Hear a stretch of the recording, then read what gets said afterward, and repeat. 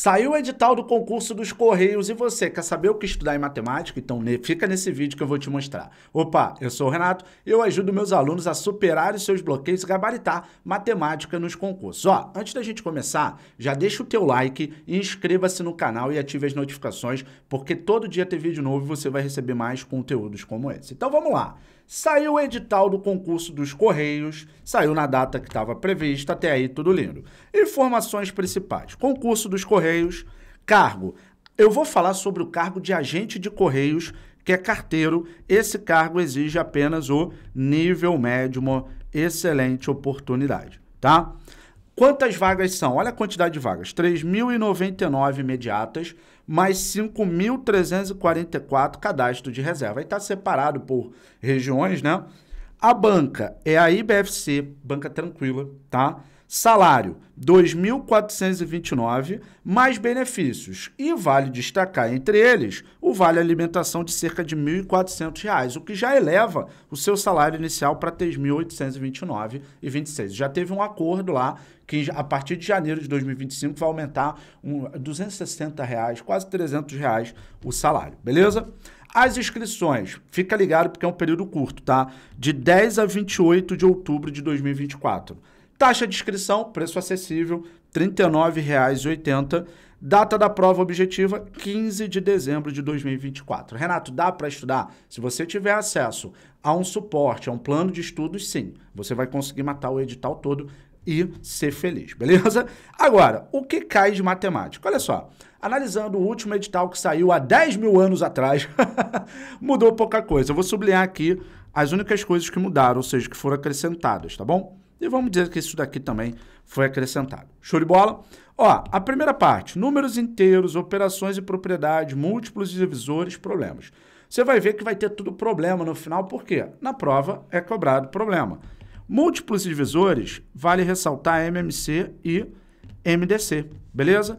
Isso daí pode cair tranquilamente. E essa parte dos números inteiros são as operações, as quatro operações que eles vão trabalhar. Agora, números racionais que a coisa fica mais legal. E aqui são as frações, tá bom? As frações. Operações e propriedades, problemas envolvendo as quatro operações na forma fracionária e decimal. Ou seja, são literalmente as frações, isso vai cair. Agora, três, números e grandezas proporcionais. Ó, razões e proporções, divisão proporcional, que inclui direto, inver, direta e inversa, regra de três simples e regra de três compostos. Não tinha regra de três simples, mas agora não tinha, perdão, não tinha regra de três compostos no último e entrou. Beleza? Zero trauma. Porcentagem, assunto que vai cair. Juros e desconto simples. Juro, capital, tempo, taxa montante. Desconto simples vale ressaltar o desconto comercial e o racional. São esses que vão cair, tá bom? Função do primeiro e segundo grau, presta atenção.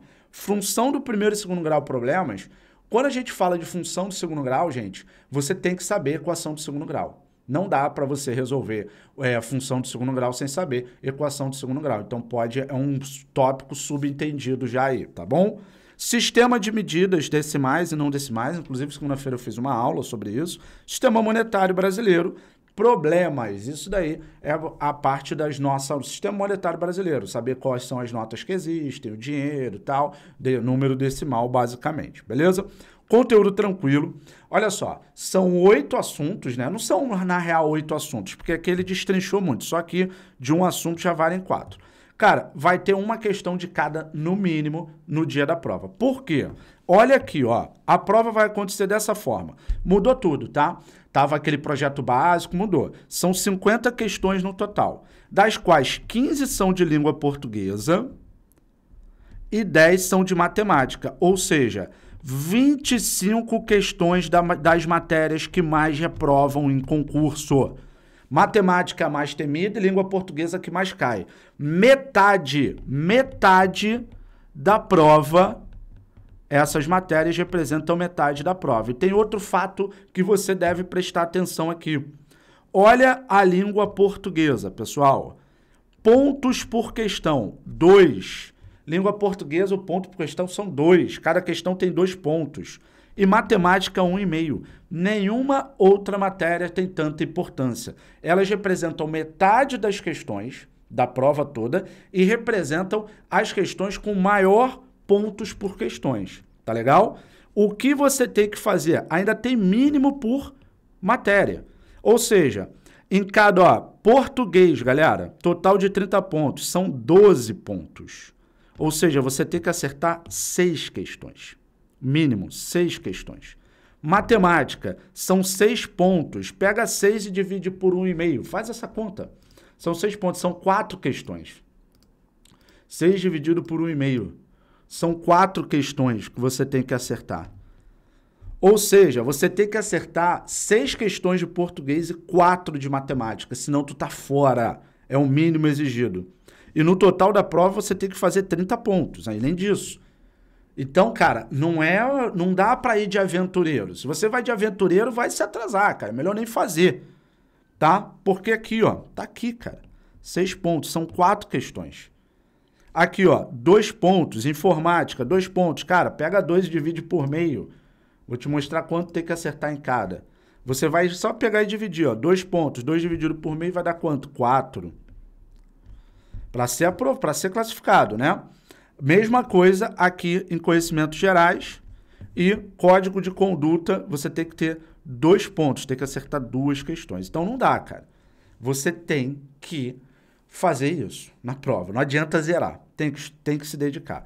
Vale ressaltar, matemática e português são as matérias que mais reprovam e as matérias mais importantes. Além disso, isso daqui é parte do edital, tá? Eu tirei do próprio edital. A prova objetiva será de 0 a 60. Aí, ó, tem acertado no mínimo 12 pontos, tá aí, ó, na disciplina. Tem acertado no mínimo 6 pontos na disciplina, tá tudo ali bonitinho. E tem que fazer 30 pontos no total da prova. Não dá para zerar.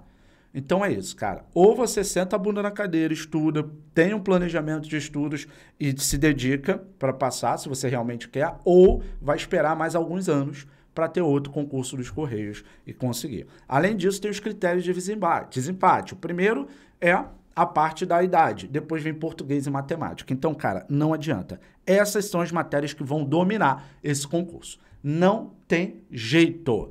E se você quer a minha ajuda, eu deixei aqui na descrição, galera, o link de uma aula que eu vou fazer hoje à noite. Provavelmente quando tu vê esse vídeo, ele, ela já vai estar tá rolando, ou já vai ter acontecido uma aula onde eu faço resoluções de questões da banca IBFC de matemática. Então não perde tempo, já clica aí e veja essa aula. Eu deixei o link aqui embaixo, tá bom? E se você quer a minha ajuda, o meu acompanhamento, eu deixei nos comentários o link do meu curso que tem matemática e português, as matérias mais importantes. Show de bola? Então é isso, bora para cima, mais um concursão, bora que a concorrência vai ser grande, mas aluno MPP não vai perder. Tamo junto, já deixa o teu like, inscreva-se no canal. Um grande beijo e te vejo na aula e no curso também. Um abraço.